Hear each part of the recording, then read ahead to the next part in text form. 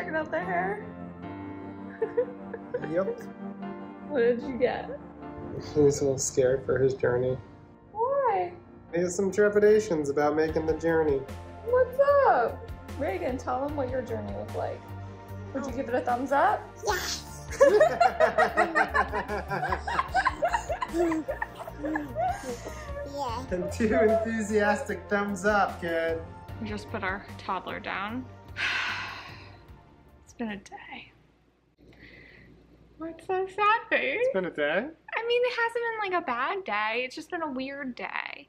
So today is the day the spirit baby medium said Cappy would be born. And my only labor signs. I guess I kind of had some contractions, like one or two in the middle of the night, but like that's nothing. And then I had the pre labor poop. You also moved down last night. But like, I don't know, I woke up and it's just like, I don't think this baby's coming. It's just, I don't know. You know, with Reagan, I was waking up throughout the night with contractions that I didn't realize were legitimate contractions and consistent. I did some work today. he took her to the park, put her down for a nap, and then she pooped. And so she woke up from her nap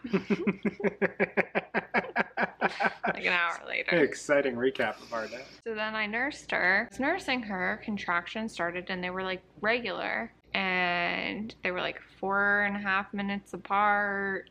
Felt good about it. Started at 2 p.m. It was lasting almost till 3. But I wasn't sure if it was just because she was like on my boob for that whole hour. So we got up. I walked her over to the park. I walked home from the park.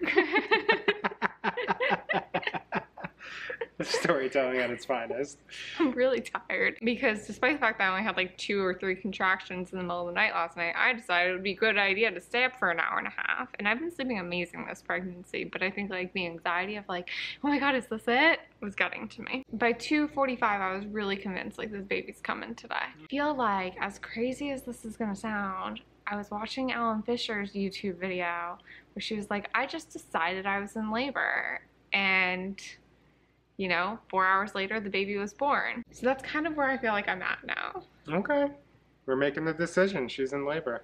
Is that what is happening? Yeah. Am I just like claiming that? Well, hang on. I don't know if I want to do it like right this second. Okay.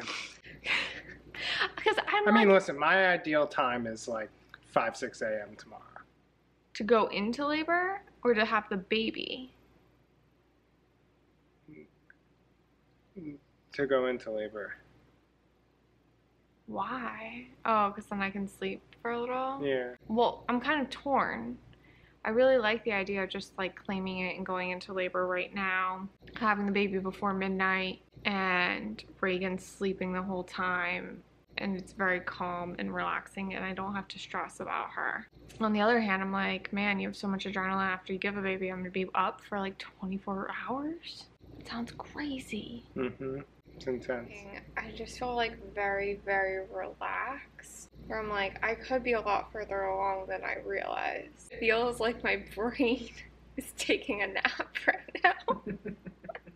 Is there like significant pressure down there? Mm-hmm. I mean, I don't know what significant is. There's There- pressure. There's pressure. More so than yesterday. Oh yeah. You know, this is the hard part because they're like Braxton Hicks usually only last for 30 seconds. But when I was in labor with Reagan, her contractions only ever felt like they lasted for 30, 40 seconds ever. So I don't know. This time I'm like, okay, I can actually feel like the rise from the bottom of my uterus going all the way up to my top. But I still am only getting like 40, 45 seconds, which is consistent with last time. Oh yeah, Braxton Hicks back. You know, the thing with everybody's definition, everyone's like, real contractions, you feel pain. Braxton Hicks, you feel discomfort. Well, what if you just feel discomfort when you have contractions? I think I'm having one now. I don't know.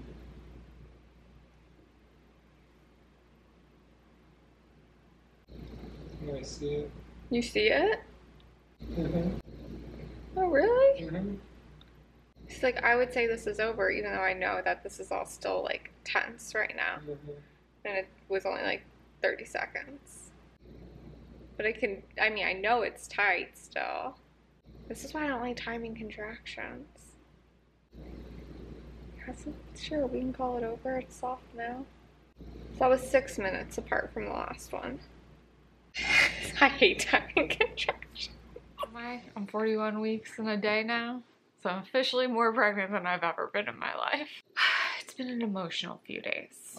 So, 23rd, obviously, we thought Spirit Baby Medium said it was go time. Didn't happen. He did his reading that night, go time on the 24th didn't happen. So what I have since come to learn is that I have been in prodromal labor, meaning false start labor. And I never had Braxton Hicks with Reagan, so I never really like knew what those feel like, and I still don't really know what those feel like. I asked God to give me a sign. Are these Braxton Hicks that I've been having on and off for the last few days, or are they real? Because they have felt so real to me and they were so consistent. Like I was having them six to seven minutes apart, lasting 45 seconds to a minute, which is how long my contractions last for over an hour. And there was just like a lot of stuff where it felt real. So I asked God to give me a sign. So then last night, the contractions started in my back and moved into my thighs, which I had never experienced before, even with my first. But like that's like a big distinction between Braxton Hicks and real contractions. So I'm like, okay, contractions are definitely real. And then I read a birth story about a woman who was 41 weeks and five days had been in prodromal labor for a couple of weeks and she ended up giving birth in 71 minutes from her first contraction to holding her baby in her arms. That's my reinvigorated energy I'm going off of right now.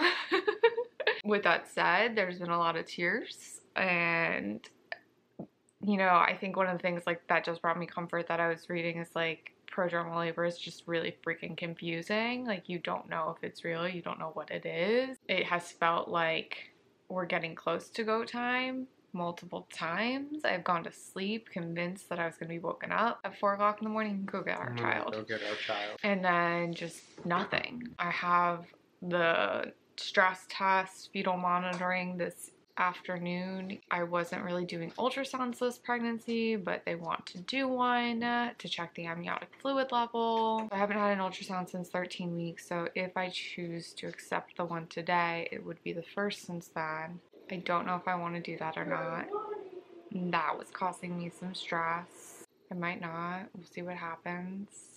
I'm not really worried about the fetal monitoring of the heart test because at my last appointment, his heart had accelerated during it.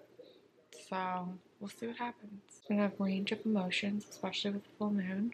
It has been asking myself a lot. Is there any like unreleased fear? And I just keep coming back to no, like I did so much work on all that. It's now the 26th, Saturday. Went to my fetal monitoring appointment yesterday. Heart's good, amniotic fluid, tons of, so I'm not going back till Tuesday. Ended up getting an induction massage after the appointment that evening, and uh, I felt pretty sure I was gonna go into labor that night, but it didn't happen. But I feel at peace with everything. Crazy thing happened. I haven't really gotten ultrasounds this pregnancy, and I have kind of felt like the baby has blocked a lot of interventions and just not wanting to be monitored. So I've kind of processed the emotions quite largely in the moment, but then moved through them. So going into this appointment, I had some hesitancy, and I just said, you know, if I'm not supposed to have any ultrasounds, the ultrasound machine just won't work. So, of course, we're sitting there and she goes, she covers my belly in the gel and she goes to do it and it doesn't work. I'm like, oh my God. Eric and I look at each other and start laughing. Goes and calls the main midwife and like they're trying to troubleshoot it. And at the exact same time, I start saying, Don't worry about it. Eric on his phone is scrolling, and one of our friends had posted something like along the lines, You don't need ultrasounds in pregnancy. Like, do not call customer service. Do not like try to force this. If we can't get it figured out in like under five minutes, it's the baby blocking it. I told her what I had said before I got there. I was like, This is what he wants, and we can't push it. And so at this exact moment, she puts in a new battery to the thing, and it starts working. She's like, Well, what do you want to do? Just got this hit. It was like, Oh, it's okay if we do the ultrasound today. It's just he needed that reassurance that we were going to trust and defend him. But I had also kind of wanted to see him because I haven't seen him since 13 weeks. And I just wanted a little reassurance at this point um, about his positioning and stuff. Yeah, that happened. And now I'm really cold in bed right now. and I feel good. See what happens in life. We're gonna go to the library this morning, get some new books for Reagan. Baby's gonna come when baby wants to come. I was definitely spinning out more yesterday, but then kind of everything just aligned in the afternoon. So I feel good. I don't think I'm gonna have any more highs and lows. I mean, listen, if I make it past 42 weeks, I probably will, but I feel fine for the next week. If you like that video, make sure to give it a thumbs up and don't forget to hit that subscribe and notification bell so you don't miss my next video, which is this little guy's birth story. And in the meantime, check out my last overdue vlog. Definitely a different experience, much more emotional. And my daughter's birth story, which was podcast episode, not a video, but I'll leave a link to it here as well. As always, my name's Rachel. Have a good one.